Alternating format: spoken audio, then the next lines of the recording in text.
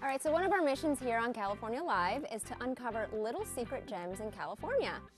And our Danielle Robay found one hidden in the shadows of downtown LA. Yep, it's it's it's a do-it-yourself ice cream parlor.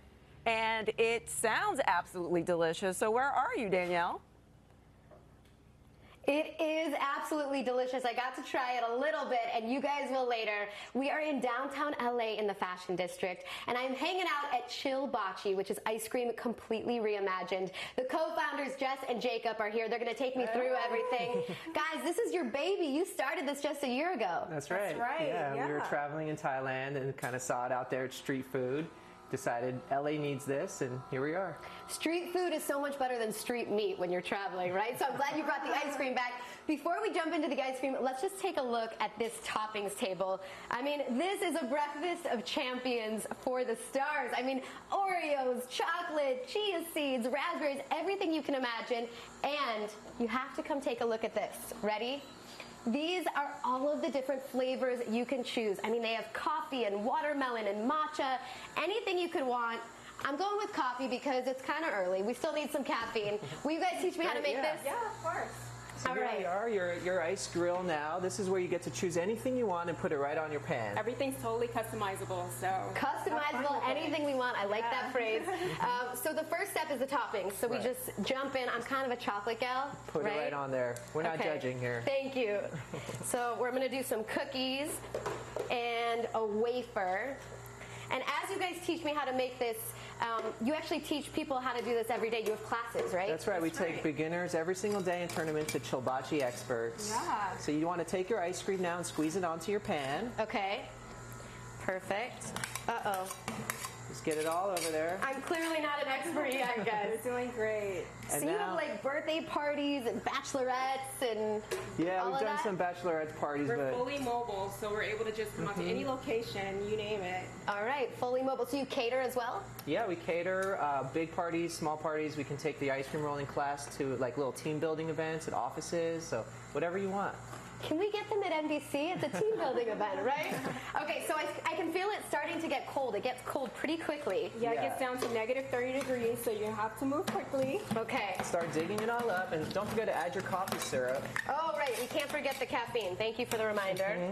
You have to add a little flair. This is hibachi ice cream, so hibachi. Here's what we. I love that. This, This is is starting to look good. okay, you got tricks. Um, are there any toppings or flavors that you guys are like that you see as are most popular that people come in for all the time? Um, people really love the horchata with cin- cinnamon toast crunch. So good. Yeah. Um, but this is kind of like your own creation, so it's whatever you want. You can try as many flavors out in 90 minutes, all you can eat, and it's only $22. So what's better than that? So you're saying the classes, right? But people can come in just for ice cream. You'll make it.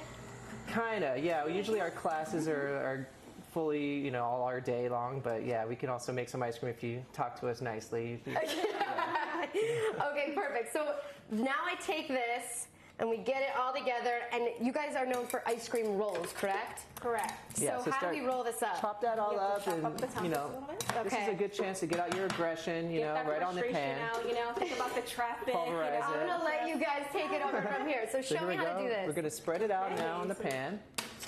All right, we spread it out, and uh, we're making some ice cream rolls. Yeah, right. so it Okay. takes a little different process than regular ice cream because it freezes right on the grill. It takes about a minute and a half to make each roll, and we're just making it nice and pretty. All right, don't get it too pretty. Let's start rolling. I want to All try right, this. here we go. So That ready to roll? good. Yep, let's try it. All right. Can I dig in with? Oh, I have this. All right, I have to take a quick bite, and maybe we'll come back. There it is. That is really Okay, good, there's guys. your Thank you so much. Ooh, that's a great roll. thank you. So, Danny, we have a uh, Danielle. We have a question. Sorry, I just called her Danny.